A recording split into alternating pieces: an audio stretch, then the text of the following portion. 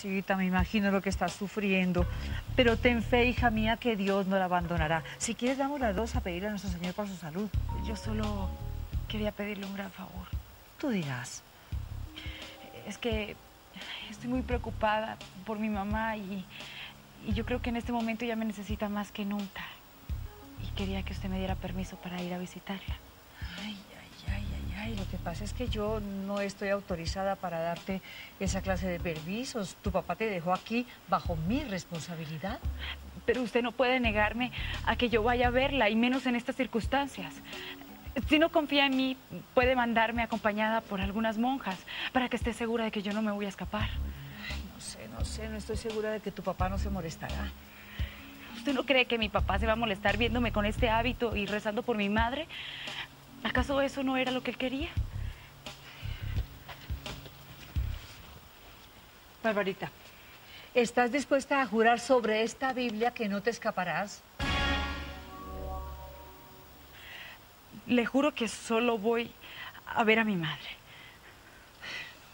Está bien, está bien. Veré qué puedo hacer. Eh, tú mientras tanto vuelve a la capilla a orar por tu mamá, que ya te avisaré. Gracias, madre.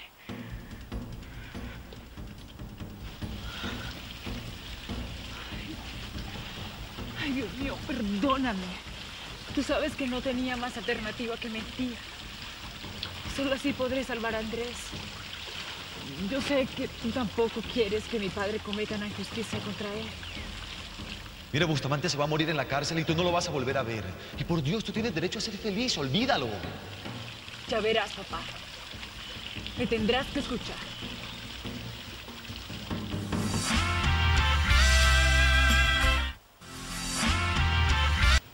Gracia, ¿qué te pasa?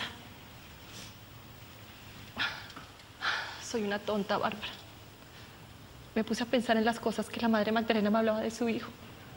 En la ilusión que tenía de volverlo a ver. ¿Pero qué? ¿Le sucedió algo? Se murió hace poco. ¿Y quién era su hijo? Era un preso de la prisión del Farallón. Su nombre era Santos Libardo. Santos Libardo. Sí. Yo leí la noticia que había muerto quemado. Pobrecito. Su muerte fue horrible, Bárbara. La madre Magdalena es muy valiente al soportar con tanto valor la muerte de su hijo. Pobrecita. Le debe hacer mucha falta. Me imagino que ella soñaba con que lo iba a ver libre algún día. Era lo que más quería. Yo hasta me puse a pensar que algún día lo conocería. Ella me hablaba tanto de él que me imaginé que a pesar de todos sus pecados, era un hombre muy espiritual. ¡Ah! ¡Maldición! Ya no soporto más este dolor. Esos medicamentos no me están haciendo nada. Resista. ¡Ah! Le prometo que voy a tratar de conseguirle un calmante más fuerte. ¿Pero por qué tengo tanto dolor? Seguramente la infección es muy grande. Yo sé que le va a parecer ridículo lo que le voy a decir, pero trate de no pensar ahora en el dolor. Mejor dígame, ¿qué piensa hacer cuando salga de aquí? No saldremos nunca de aquí. ¡No saldremos nunca! Sí vamos a salir de aquí. Y es en lo único que tiene que pensar. Así que dígame, ¿qué es lo que piensa hacer? Quisiera. Quisiera partirle el cuello al hombre que me traicionó. Ese no es precisamente un pensamiento muy agradable. Pero es el único que me da fuerzas para luchar. No creo poder odiar tanto a alguien como para que la venganza se convierta en el único motivo de vivir. Quizá usted no tenga motivos para odiar. Pero si alguien rompe sus planes y destruye su vida, usted va a aprender a odiar. Y se dará cuenta que la venganza es lo único que lo convierte de nuevo en un ser humano. Venganza. No, amigo. Yo solo pienso en el amor. Es el único sentimiento que me ayuda a sobrevivir. Tienen que salir e ir derechito a casa de los Santana y regresar aquí mañana a primera hora. Nada de distraerse por ahí. El diablo pone tentaciones en el camino. Sí, Sor Virtudes. Sí, Sor Virtudes. Como usted diga. Y nada de andar deambulando por ahí por el pueblo, como si fueran unas muchachas libertinas. Y no conversen demasiado. Caminan derechitas y sin voltear. Sí, Acostarse temprano, aceptar la comida que se les dé y ser humildes. Ay, sobre todo, ni voltear a ver a un hombre.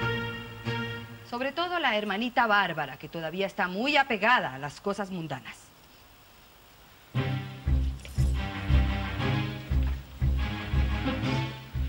Este convento no tiene nada que envidiarle a una prisión. Nos quieren tener encerradas aquí de por vida. ¡Maldita sea! Entonces nos vamos a quedar encerrados aquí para siempre. Al menos por el momento. No he podido encontrar la llave que abre esta puerta, así que voy a tener que tumbarla. Por favor, hágalo ya. Mi compañero no puede esperar. Está muy mal. Eso quisiera, pero es que no es fácil.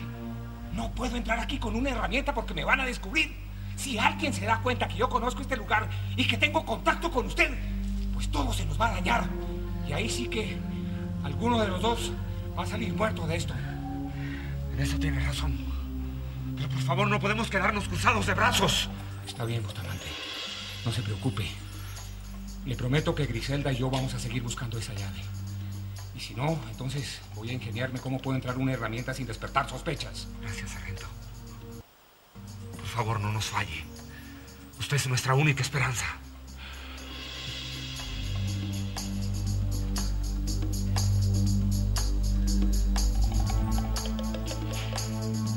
¿Qué está haciendo ahí, Mejía? A ver, Tomás. ¿Cómo así que usted fue el que planeó lo de la fuga? Sí, coronel. Yo no quería casarme con su hija. Por eso me desmayé durante la ceremonia. ¿Cuándo se desmayó? ¿No se acuerda, coronel? Después que el papá de Filomena entró haciendo tiros al aire... que- ¿De verdad no lo recuerda? Usted me está diciendo que usted planeó todo eso y fingió el desmayo para que Bustamante y Bárbara se fugaran. Pues sí y no. Bueno, pero la verdad es que nunca me había salido mejor un desmayo. Y lo del padre de la tal Filomena también fue un truco. Ojalá fuera así. Mire, coronel, lo que le quiero decir es que yo fui el culpable de todo. Yo fui quien entregó a Bárbara en brazos de otro hombre. Yo le di alas a ese amor, coronel. Entonces usted es más tonto de lo que creía. Pues aquí el único tonto que veo es a usted, que prefiere perder a su hija en vez de ayudarle a encontrar su felicidad.